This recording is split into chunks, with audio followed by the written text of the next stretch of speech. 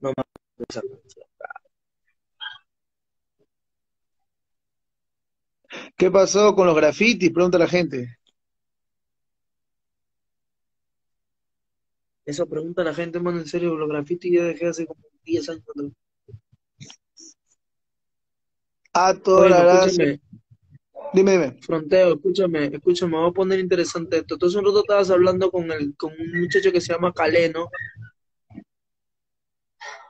Yo entré, yo entré ese live. Dímelo. Sí, ahí estamos hablando con Caled acerca de su trayectoria, la música que está haciendo también.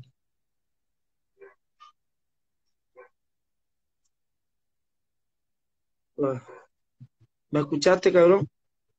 Sí, sí. Ey, ¿me escuchas, cabrón? Sí te oigo. ¿Qué fue, mano? Dímelo. Yo quería escuchar, mano, yo quería escuchar esa transmisión, pero llegué tarde, mano. ¿En serio? ¿Te gusta mí ese muchacho, ese muchacho no, ese muchacho no me cae bien. Ah, ¿en serio? ¿Por qué, mano? ¿Qué fue? Porque una vez salió diciendo en su Instagram de que tienen que respetar a los antiguos y que los nuevos no van a llegar a nada porque, porque no tienen disciplina. O sea, ese muchacho que querían que lo respeten a la mala.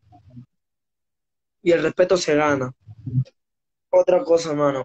Yo, como lo dije en un video, yo le escribí, mano, y el muchacho borró su post, borró a las dos horas su post, dejó- la borró, porque estaba tirando. Y yo le dije, mano, a ti lo que te preocupa es que la nueva generación no te hace caso, y que estamos más duros que tú.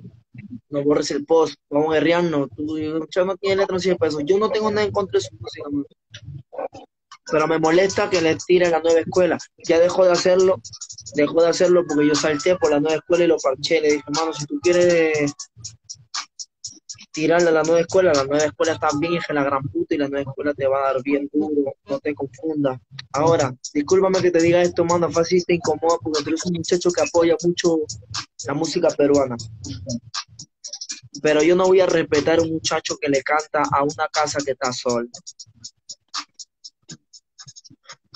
¿Sabes por qué, mano? Porque cuando yo me pongo a escribir, yo cuando me pongo a escribir, yo no, yo no, yo no agarro y veo que mi casa está sola y le voy a cantar que mi casa está sola y no va a hacer eso. Yo lo que hago es me, me meto una temática bien de la gran puta y utilizo el cerebro, escribo para que la gente me quiera de verdad. Ahora, yo no voy a respetar a un muchacho que le canta que su casa está sola y se pegó por la radio, obviamente, porque la radio pega hasta el, la con culo remix.